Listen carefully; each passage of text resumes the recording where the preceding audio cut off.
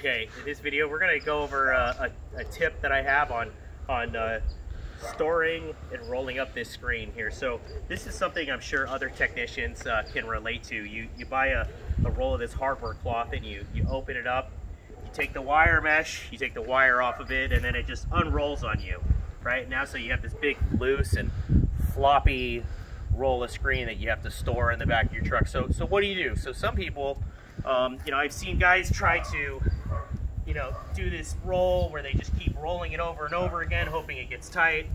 Um, you know, other guys will roll it all the way out and then try to roll it back up tight, which uh, it, it, doesn't work very well. But I'm going to show you this trick that I've been using for years now, and this is what I teach all the technicians. So if you come in a little close, you can see, um, typically with, with the rolls of screen, if you look at it, there's always going to be one end that kind of sticks out in the middle, right? It'll it'll come out this way just the way it is. I can push it in and it sticks out. So this is the end we're gonna have standing up.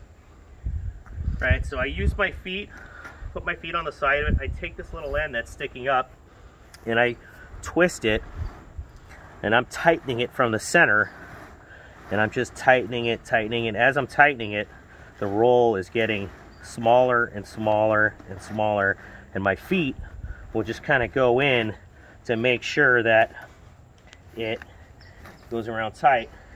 And just like that, I have it pretty tight. I'll take this little end and kind of just pop it in and then you can see it's almost like factory. It's almost like the way I got it from the factory. And so what I can do now is I don't just throw this away. This is what it comes with. Um, some guys will just snip this off right away when they want to unroll it. I carefully unroll it I save this and you'll see why. You loop it in in one end and all you have to do is just kind of pinch it and get it to hook right? And then I just wrap it the way and I basically just rewrap it the way that it comes when you when you purchase it. Uh, we get this stuff from Home Depot. This is uh, two foot by 25 feet. It's it's pretty compact and then when I get to the end when I get to the end, I just find a place to kind of feed this through and then just loop it over. And there we go. So nice and tight. This will go in the back of my truck. Um, and it'll stay together. It won't get snagged on anything and banged up and bent around. And uh, I'll just continue the same process. Every time I use it, I always roll it back up exactly this way.